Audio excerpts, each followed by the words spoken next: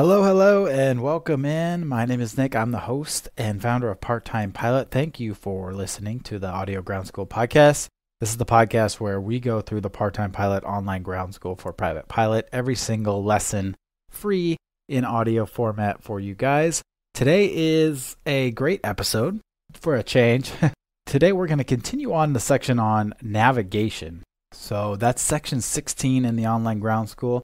If you're following along in the online ground school, which again, I always highly recommend that you do because you can get all the visuals and quizzes and videos and stuff like that. But you're going to go into your step one course, the step one private pilot online ground school course. That's where all the lessons, videos, quizzes, all that stuff is, even these audio lessons. So you'll go in there and then go to section 16 of that course on navigation. Last couple episodes, we did a deep dive on the aeronautical charts. That was lesson one. And then this episode, we're going to do pilotage and dead reckoning. So that's a short lesson, just kind of some definitions of what that is and why it's important. And then we're going to get into VORs, DMEs, TACANs, and VORTACs. So that's all about ground based navigation. And that's a big lesson. You know, it's one of the toughest, most asked about topics by student pilots is VOR navigation. We're going to also cover that in two episodes. So we're going to do kind of what is a VOR, what is ground based navigation, what instruments do you use, how do you set up your instruments to use that. And then in the part two, we'll give examples and try our best to explain how to use them and how to find your position or track a VOR radial or interceptor radial and actually navigate with these things. So that's what we're going to do. Before we get to that, we have a couple announcements. One, we have been doing live lessons. So we did a series of four live lessons. I try to do them every every three months or so. You know, maybe something pops up, and it had been a while since I done lessons on particular subjects. So I just asked you guys, you know, what subjects do you want the most? And I took the most four, you know, mentioned subjects. The last four Wednesdays we've been doing live lessons, free for everybody that wants to sign up. You just got to sign up for the Zoom link. We'll put that in show notes because we do have one more of those. We've done three of them already and the fourth one is this Wednesday at 4 p.m. So depends on when you're listening to this, but I believe this episode is dropping Monday. Let's see. It rolls over into February, so I'm not good with days of months. February the 5th. So that's when this episode drops. So if you listen to this on the 5th or the 6th or even the 7th before 4 p.m. Pacific Standard Time, you still have a chance to join us. Check out the link in our show notes. Sign up for that Zoom link, and we'll send you a Zoom link as long as you you know, sign up before like Wednesday at noon. We'll send you that link and come join us. If you miss it, you want the replay of it, those will be placed inside your online ground school bonus course. So, members of our online ground school, we have a bonus course where we have all our recorded live lessons and other bonus videos in there.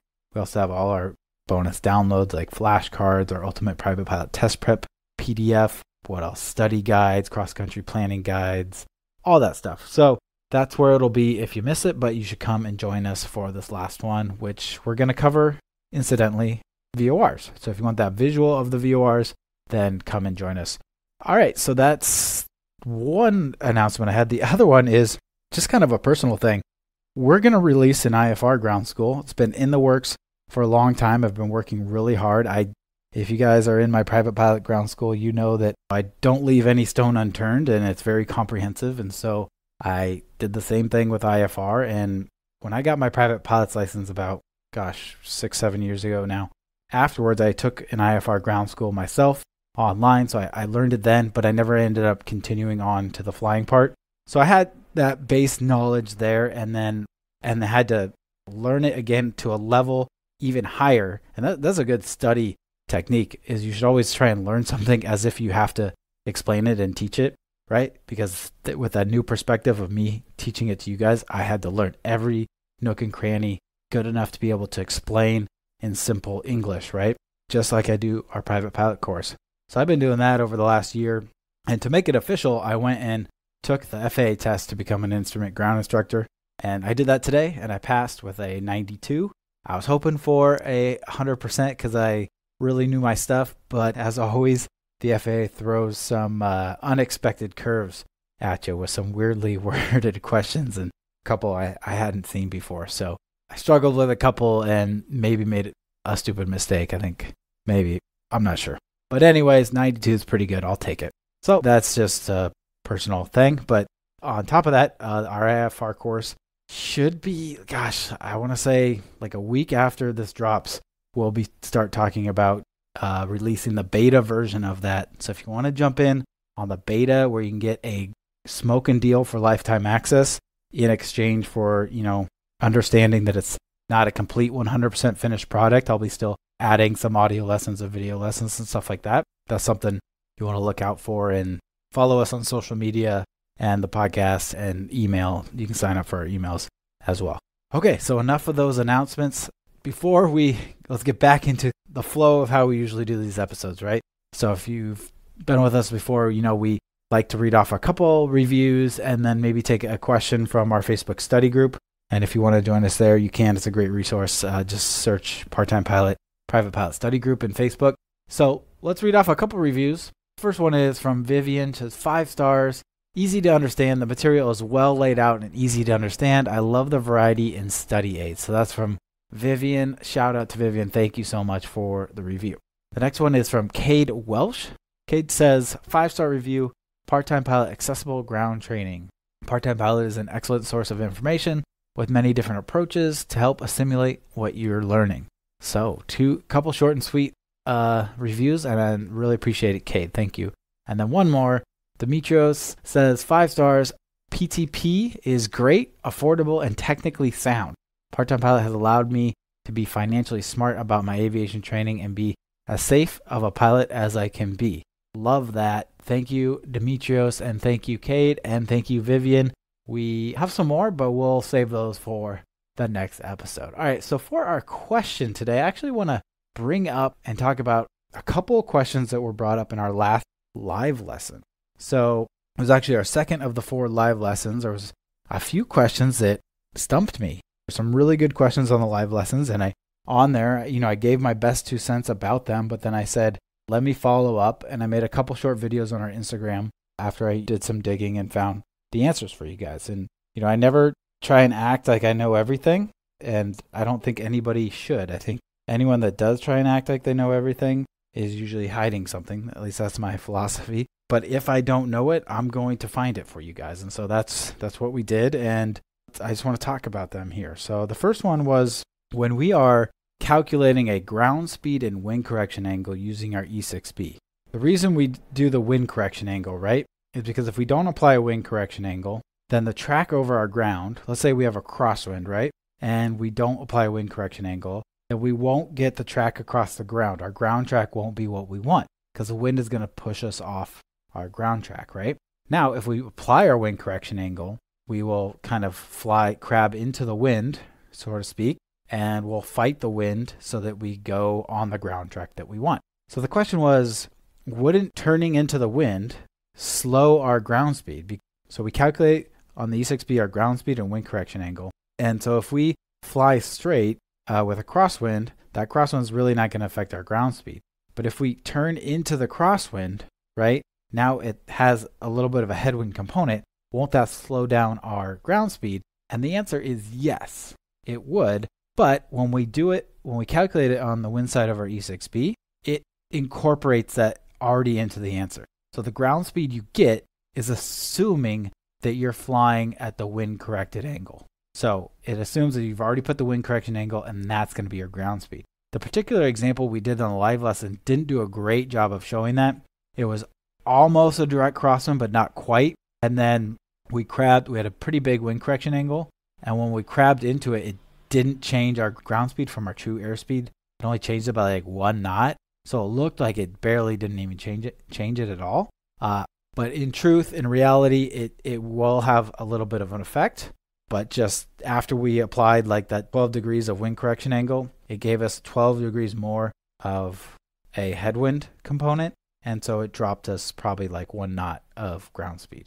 So, anyways, that was a great question. Hopefully, you guys understand what I'm talking about. The next question was oh, yeah, someone was asking if they can convert like statute miles and nautical miles on their E6B. And I thought that you couldn't. And this is, we're talking about the paper E6B. I didn't know you could. So I said, no, I don't think so. But I even admitted, I was like, but there's so much information on this little thing that I could be wrong. And then someone piped up and said, yeah, you actually you can. You look at if you look around on, and this is on the the side, you know, the slider side with the rate equations, the wheel side, right?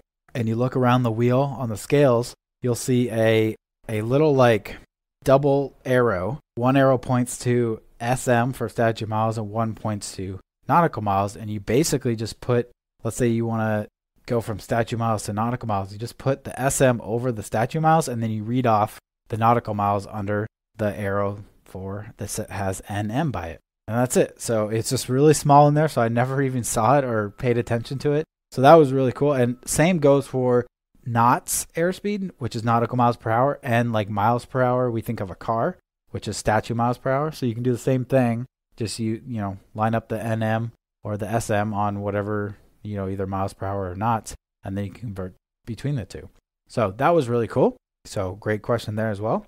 And then the last question was we were talking about how in most of the speeds we fly in a single propeller aircraft that the indicated airspeed is the same as the calibrated airspeed. It's only maybe a knot or two difference at most. So why don't aircraft just show you the calibrated airspeed? Like if there's just a chart that says, you know, because the difference is between indicated and calibrated airspeed, it's the airs in the system from like when you turn and the pitot probe doesn't get all the air into the tube because it's when you're at an angle. So it's airs like that and stuff. And so the question was great question. It was like, well, why doesn't your airspeed indicator just apply the airs that it has and show you calibrated airspeed? And the answer is because it's hard. It's harder, right? So what the airs, most of the airs are, right? When you're flying straight into the relative air, it goes right into the pitot probe. But if you crab or you turn or yaw or whatever, such that the air is not going straight into that hole, you get an air, right? The air is still going over the wings and it's going over the aircraft, fine, but it's not going into that pitot hole 100%. So you can get some air in your instrumentation. So it depends on a lot of things, right? It depends on the dynamics of the aircraft, the angle of attack, the angle of yaw, the angle of pitch, all that stuff. So in most older aircraft where they just have these analog instruments that, you know, for airspeed, they don't have these computer systems, it's kind of hard. But the ones that do have computer systems, they actually can do that. And not all of them do, but some of them do tell you your calibrated airspeed. But why would you want to know calibrated airspeed? Why not, if you have a computer, why not just go the next step and show you the true airspeed? And so that's what most of these electronically advanced aircraft, you know, where these they have these computer systems and PFD displays, they usually show you true airspeed and they also show you ground speed and indicated airspeed. So they just kind of pass over calibrated airspeed. They make those calculations, but that's no use for you. You as a pilot, you want to see indicated airspeed because that's what your aircraft, that's what you make decisions off your aircraft and on what to target in terms of indicated airspeed. And then for planning and purposes, you want to use true airspeed and ground speed. True airspeed is your actual speed through the air, taking into the qualities of the air, the density of the air. And then ground speed is, of course, your speed over the ground. So Calibrated airspeed doesn't really have a use other than to get you to true airspeed, so that's usually why they don't show it. Hopefully that makes sense. All right, so I've been babbling on for 16 minutes now. Uh, hopefully you guys found all of that interesting, but let's now finally get into our lesson on pilotage and dead reckoning.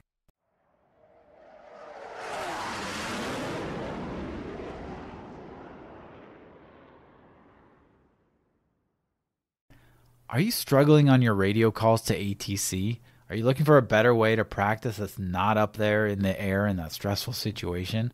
Well, I want to talk to you guys about something called ARSim or Aviation Radio Simulator by Plain English. It lets you practice talking to ATC through all phases of VFR and IFR flight, from taxi out to takeoff, all at your own pace. There's no simulator setup needed and it works on any device, mobile or the web.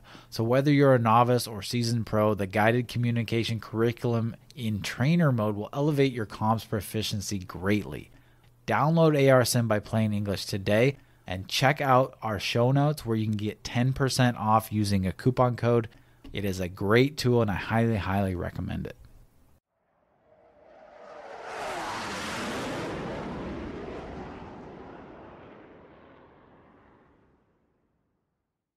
So again, we're in Step 1 course, the Step 1 Private Pilot Online Ground School course, Section 16 on navigation, Lesson 2 Pilotage and Dead Reckoning. Pilotage is defined as navigation by reference to landmarks or checkpoints.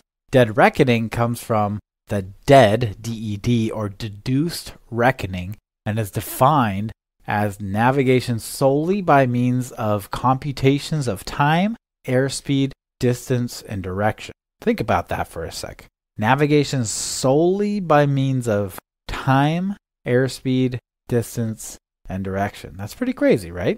But it can be done if you do it accurately and, you know, keep track of it along your flight. And that's kind of like pilots used to do this all the time. Like that's how they used to navigate. They didn't have, you know, GPS and they didn't even have like other ground-based navigation. So you would literally use pilotage and dead reckoning. You know, that goes back to ships exploring the world and mapping out the world for the first time. So really, really cool stuff. And this is what you calculated in your cross country planner when we did went through the cross country planning section. If you were 100% accurate in these calculations, you would be able to fly solely by your instruments, a watch, and your cross country planner. Again, pretty wild to think about. If you have gone through the cross country planning section of, you know, this course, then you have already learned how to calculate what you need for dead dead reckoning, excuse me. Pilotage should be used in addition to dead reckoning in order to add more data points to your route. So again, pilotage is defined as navigation by reference to landmarks and checkpoints. So when you combine the two, you know, in VFR flight where we can see these landmarks and checkpoints, that's when you can really get something when you combine the two. This way, you are giving yourself more chances to verify your location, your speed, your time en route, and your fuel burn. All good things for keeping you safe and not lost on your cross country flight. Notes for pilotage can be put in the notes section of your cross country planner. For example, if I made a checkpoint at the point where I reached the northern end of a lake, but I expect the lake be to the left of my route of flight, I might place a note that says northern end of Lake X. Let's say it's Lake Elsinore. That's in Southern California. So northern end of Lake Elsinore, two nautical miles off to left. Okay. That is a typical note that I would put in my cross country flight plans. So I, I'm specific. I'm saying if I am on course, right, the lake's going to be about two nautical miles to my left. And at this time, I should hit the north part of that lake. I should pass over the north part of that lake. So that way, that gives me a lot of information just in that one note, right? If I am end up flying over the lake, I know that my magnetic heading are wrong because the wind has changed. So I have drifted to the left and I need, if I'm continuing in that direction, I need to make some corrections to the right in my magnetic heading. And then if I get to the north part of the lake earlier than I thought, right? Then I'm flying quicker. I'm making I have more a better ground speed perhaps. Or if I get there slower, you know, I have a slower ground speed. And if it if I get there way slower, you know, considerably slower, then I start to think of okay, well, how much extra fuel have I burned? You know, because if I, it was already tight on how much fuel I have, and I, you know, it's going to be real close if I have enough fuel with my reserves or anything, and then I get to the north end of the lake and I'm five minutes behind. That means I'm flying an extra five minutes. That's going to be an extra five minutes of fuel burn. So it starts to add up. So those are all in that one sentence, uh, ascertain quite a bit of information that can help you. And when you do that each checkpoint, that's basically what they did, you know, back in the day before ForeFlight and all these other other tools. And this, I believe, makes you a better pilot when you learn this because if any of that stuff fails, you have this as a backup. And even even not as a backup, you know, knowing these things at each checkpoint can make you make these corrections quicker. And any advantage you can have as a pilot could be the thing that, that saves your life. So uh, let's continue on here. A checkpoint used for pilotage should be prominent and easy to see at most altitudes. Obviously, we're flying in VFR here. Here are some other things that can be used as visual markers other than a lake for good pilotage roads and road intersections. So major highways, right, are really good. You could cross over a highway or you can follow along a highway.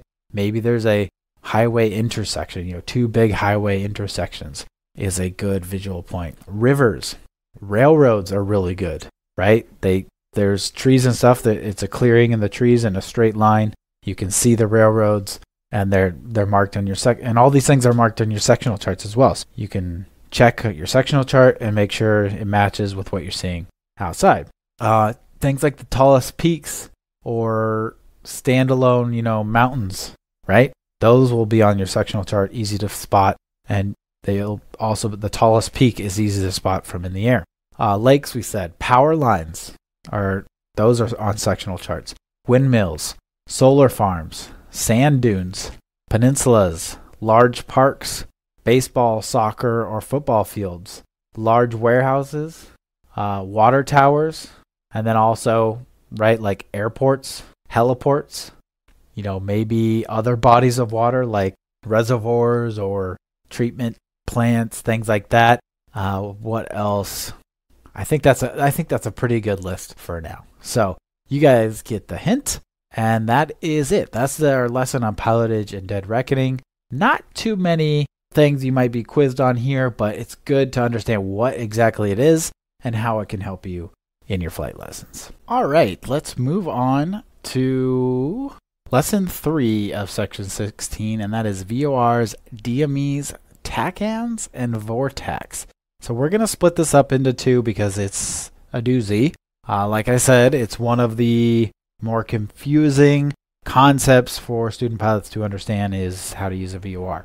So we're going to separate it into the basics of ground-based navigation systems, you know, how to find the information on a chart, what they do, you know, all that jazz. And then we're going to uh, do next week's episode will be all about how to use them, how to find your position, how to find your relative position, you know, from a VOR station, how to find your exact position uh, with a VOR or two VORs and a DME, and then how to like track radials, intercept radials, all that stuff, and we'll do examples. So uh, let's get into the lesson on VORs, DMEs, TACANs, and VORTACs. In the absence of a good checkpoint or an event where visibility becomes low, you are not allowed as an VFR private pilot to fly with low visibility, but you should still plan for the scenario. You will need to know how to navigate with your instruments. So I would also add to that that without GPS or ForeFlight, right, you're going to need to know how to use a VOR. And once you get into IFR, you're definitely going to need to know how to use VOR to travel on routes and all that stuff. But even on VFR, you know, it can help identify checkpoints. VORs can. If you get lost, it can tell you where you. VORs can tell you where you are. It can tell you distance. You know, DMEs can tell you distances from stations. Two VORs can tell you where you are. You can track radials to use routes, specific routes, VFR routes, stuff like that. So very, very, very helpful tool. And I know that, you know, hey, why can't we just use GPS? Well, your examiner is probably going to see and make sure you know how to use VORs at some point in your check ride. All right, so VORs, DMEs, uh, or VOR slash DMEs, TACANs, and VORTACs are the common navigation and radar systems that should be understood by any pilot. So you can have a station, a ground based navigation station that has VOR capabilities, and then you can have one that has DME capabilities, or you can have one that has both VOR and DME. That's probably the most common. Or you can have what's called a TACAN, or you can have what's called a VORTAC. And we'll get into each of these. Again, most student pilots will work with VORs, DMEs, or VOR slash DMEs. Also, I would say VORTACs as well. But okay, what is a VOR? VOR stands for VHF omnidirectional range or very high frequency. That's what VHF stands for. So it's an acronym in an acronym within an acronym, like an acronym inception. Um, gotta love aviation, right? Uh, so very high frequency omnidirectional range. It is a navigation beacon intended for civil use and provides pilots with a radial or beacon to and from the VOR station. VORs work on frequencies between 108.00 and 117.95 megahertz. VORs are used to determine your aircraft's position with respect to a VOR station, but they do not tell you how close or far away your aircraft is from a station, only the direction from it. So it might say you're, you know, tell you you're northeast from the station. It's not going to tell you exactly where you are. That would need a distance. So that's where we get into DMEs. So we'll talk about that in a second. Multiple VOR stations can be used to triangulate an exact position and distance from a location. And we'll, again, in the next episode, we'll tell you exactly how you can do that. Okay, so what is a DME? Well, DME stands for Distance Measurement Equipment, similar to a VOR radial or beacon, but provides the distance from the station. Then you have a VOR slash DME station, so it has both. VOR DME is a combination of, you guessed it, VOR and DME on frequencies between 108.00 and 117.95. A VOR slash DME provides a radio or beacon to and from the VOR station along with the distance to that station. Uh, these can be used to find exact locations of your aircraft, direction, and distance from a known point and the VOR DME station. So you know where the VOR DME station is. Uh, your VOR part of that, you know, the VOR instrument in your aircraft tells you which radial or which direction from that station you are. So again, let's say it says you're northwest from that station, and then the DME tells you how far away. So if you know the exact what's called radial, so let's say northwest, it's uh, let's say it's 335 degrees. So that you know a heading of 335 degrees is to the northwest. So 335 degrees, let's say that's the radial you're on, and you're 20 nautical miles from the station. You can literally draw the 335 direction from that station. You can draw a line on that. That's called a radial. So out from the middle, the center of the station, out in the 335 direction. That's the 335 radial. You know your aircraft somewhere along that in the northwest direction. And then the DME tells you you're 20 nautical miles from the station. So you put a point on that 335 line. That's right where your aircraft is. So the combination of knowing the radial you're on, direction around the station, and the distance tells you your exact location. If you didn't have the DME, only tell you the radial you're on, your the general direction from the station, but not how far away on that radial you are, right? You need a DME or another VOR to triangulate that position. And again, we'll talk about that in the next episode. All right, so then we have a TACAN. A TACAN stands for tactical, so that's where the TAC comes from. Tactical Air Navigation. It is a military system similar to a VOR, but with higher accuracy. TACANs work on frequencies between 960 and 1215 megahertz. So uh, the higher frequency band that the military uses.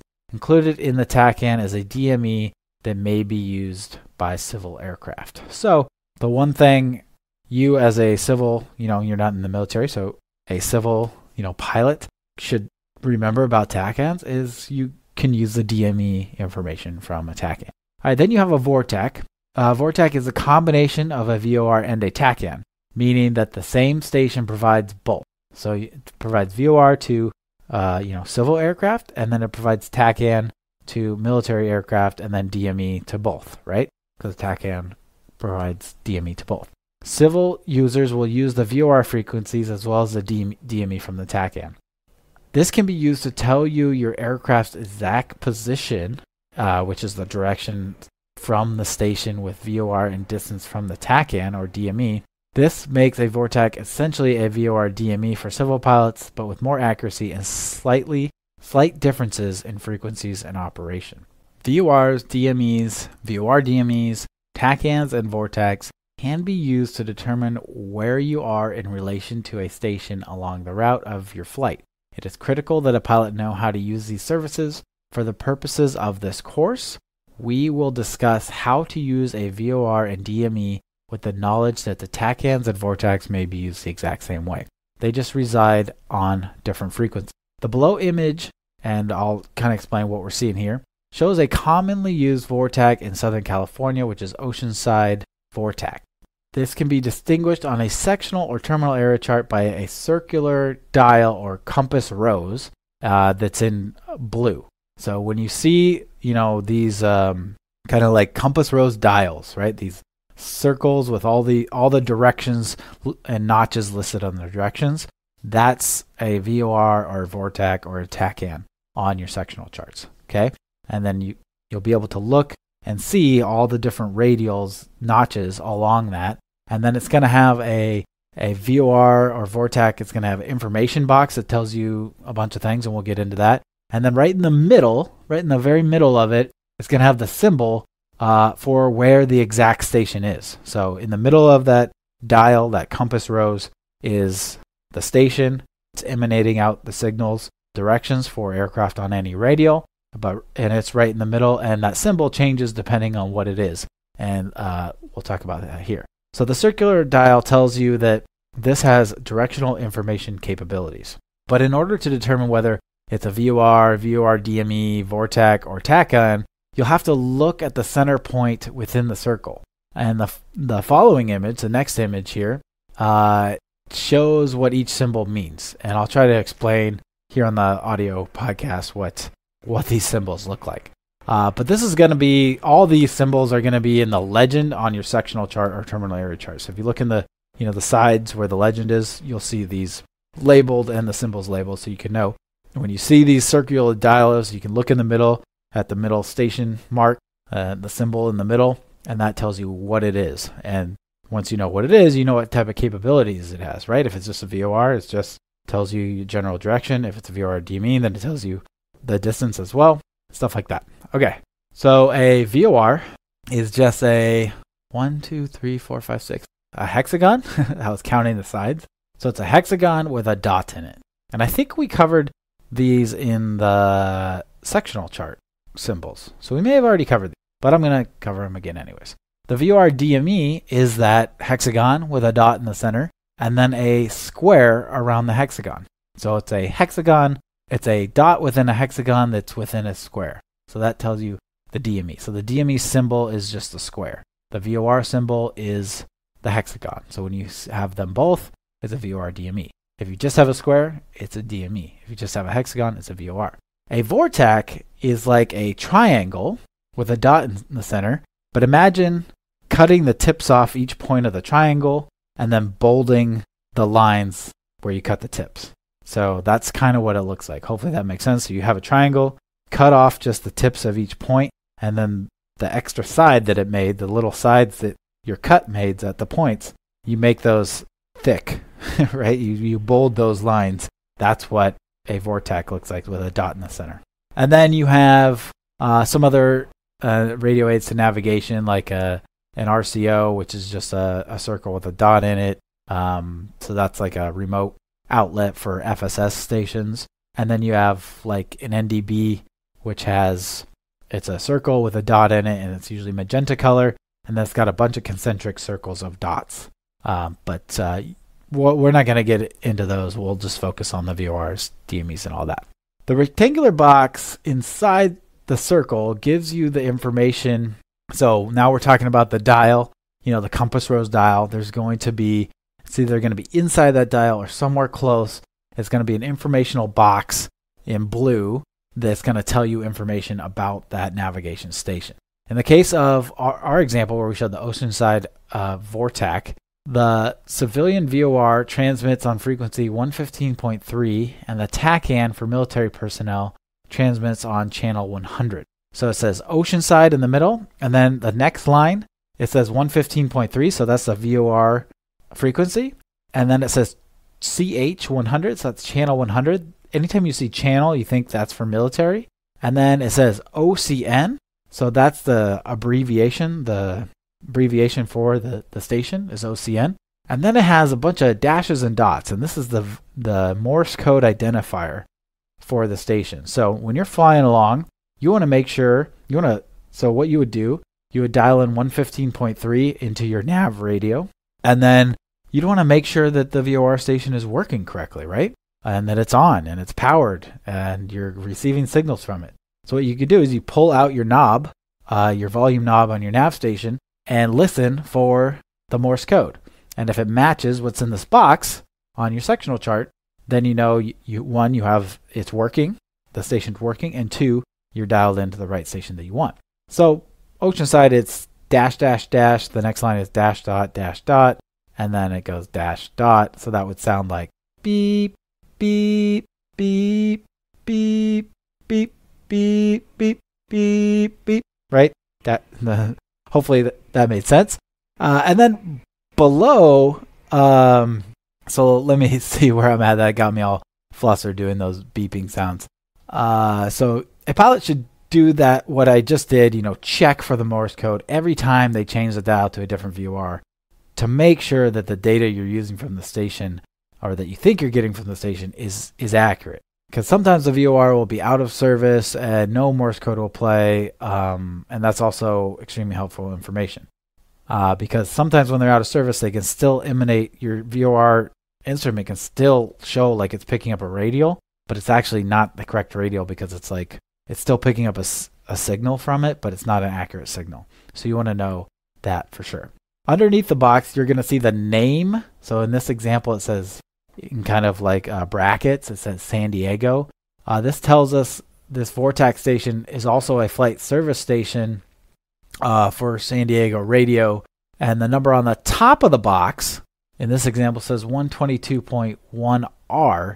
This is the FSS frequency. And if it it could have just the number or it could be a number plus an R. If it has an R, that indicates that this frequency is receive only. So that means that on that frequency, they can only receive, they cannot talk back. So you can, if you want to talk to the FSS station, you'll have to talk to them on the 122.1R, the one with the R on it. So you talk to them, they hear you on 122.R, they can receive on that, but they can't talk back on that. They talk back on the VOR frequency, which in this example is 115.3. So you'd have one radio dialed into 115.3 to listen to, okay? And then you'd have the other radio dialed in to 122.1, which they receive. So you transmit, you you know, you key the mic and talk on 122.1, and then since you have both of them tuned up in your radios at the same time, you can hear on both, and you'll hear when they transmit back on 115.3. So also in this lesson, we have a diagram that shows you the whole kind of VOR system of instruments and stations, all of that, kind of breaking down into one sort of diagram here. So I'm going to kind of explain everything that you see in this diagram for those of you following along in the online ground school. We also have a video that shows kind of what I was talking about before, you know, the the communication box about the communication boxes and how to read them on a sectional chart. I'll put that in the show notes for you guys. And um, all right, so this figure here, it has an aircraft, and the VOR antennas are usually on the vertical stabilizer, and they're usually one on each side of the vertical stabilizer pointing aft, pointing backwards. Uh, those are the VOR antennas. There's usually two of them if you have two VOR uh, receivers and instruments inside your cockpit. And then you'll receive a signal from a VOR station into your VOR antennas. Uh, that signal goes from the antennas, you know, through some wires, some cabling into your instrument panel, right? So you'll have usually you'll have two VOR instruments, and these are you know circular dials. Uh, so and then you'll also have two nav radios. Usually most aircraft have two, right? So you'll have nav radio 1 and a VOR 1, and then you'll have nav radio 2, radio 2 and VOR 2. So nav radio 1 is paired with VOR 1. Nav radio 2 is paired with VOR 2. So when you so the the radio is what when how you dial into the frequencies, right? To communicate whether just with the signals or actually communicate with the FSS station. Uh, at that VOR, right? So, you know, when we talked about Oceanside being having the VOR frequency of 115.3, let's say we want that in on our VOR 1 instrument. So on our NAV1 radio, we would dial in 115.3. Okay, and then on our VOR instrument, we would move the OBS dial, which we'll get into, and for the radial we want, and that would be picking up the signals on 115.3 because it's connected to nav1. Okay. And uh, the VOR station, right, as I mentioned, it could be a VOR, VOR-DME, VORTAC, or TACAN. And uh, you look for the symbols on your chart, like we talked about. And then to tune your VOR, right, we talked about, you know, finding the frequency on the chart for that VOR station, dialing it into your nav radio. And then you want to test the Morse code, as we talked about. And then, boom, you are now connected once the test is good, the Morse code is good, you have frequency dialed into your nav radio. It's now connected. You're, you are now connecting and receiving the signals from that VOR. All right. So that is just kind of an overview of how the VOR nav, ground based navigation and your aircraft works in a complete system.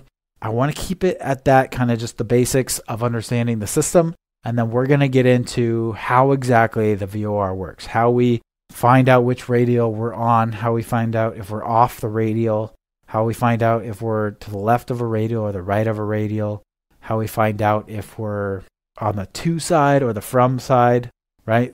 Once we can figure out the radial and the to from, we know the relative position from the station that we are. And then, as we talked about, we can combine that with a DME or another VOR to find our exact location. So we'll get into that. We'll also get into like what if we know that we want to fly along a route in our cross country planning. Let's say we want to fly on, you know, the 090 radial to the east of, and we just want to fly along that from Oceanside VOR. Uh, and so all we have to do is intercept that radial and then f- keep keep everything centered on that radial on our VOR and fly along that 090 radial. We'll tell you how to do that as well. All right, guys. Well, thank you so much for listening. Hopefully, you guys are having a great January. It feels like this month has been forever. And uh, yeah, so again, thanks for listening. If you haven't subscribed, please subscribe. If you haven't left us a review, we really appreciate it. Please do that. And if you want to come join us for those live lessons, we got one more this coming Wednesday. So depending on when you're listening to this, come join us. I think that's February 5th. We talked about that at the beginning of the episode. But all right, talk to you guys later.